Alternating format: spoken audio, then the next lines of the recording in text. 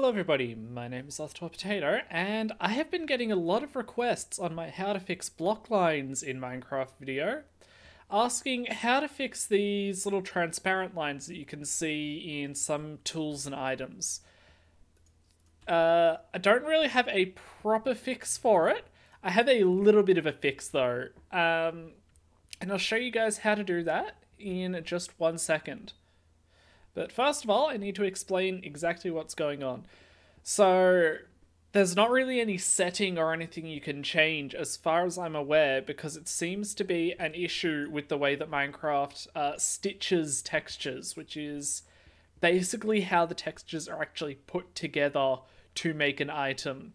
And there just seems to be a little bit of a bug with it uh, when it comes to uh, like tools and such. So like you can even see in the sword, the pixels don't quite line up properly, and that's what's causing the issue.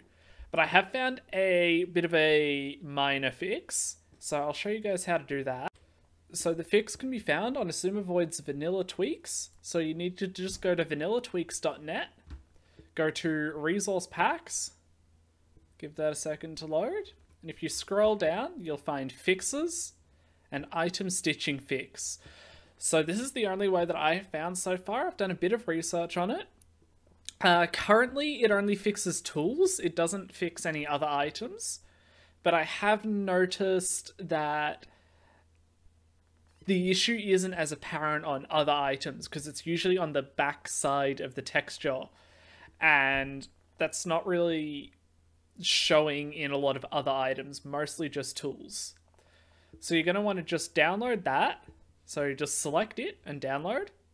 Uh, cool thing about this website, by the way, is you can select a whole bunch of things and then click download and like say like that and it'll just download them all as one resource pack. Just a cool little thing. Uh, but yeah, so you're just going to want to do that. Click download. Yep, save that. And then, oops, go away. Just drag that somewhere where you can easily find it, such as your desktop. And then you can close all that. And then you're going to want to go back to Minecraft. So let me just reload that. And once you're in Minecraft, you're going to want to go to your options, resource packs, open pack folder. Then you're going to want to grab the whole zip file put it into resource packs and you'll see straight away it loads up like that. So you go back to Minecraft, select that across like that. I'm just going to go full screen now. Okay, done. It'll just reload quickly. Then if we go back to our testing world, so as you can see, it's fixed on the sword mostly. It sometimes still happens when you move around, but uh, certain items, such as the lasso, haven't been fixed properly yet. Uh, so, so far, like I said, this is the only fix that I can find for this.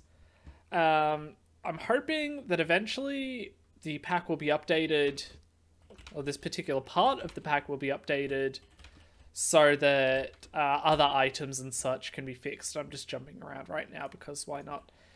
But yeah, so certain items still not fixed but definitely having tools fixed makes a big difference to your play experience because that's usually what you're holding. So I hope you guys found this useful. Again, this is the only fix that I've found so far. So I hope that it helps you, and I will see you guys in the next video. Goodbye!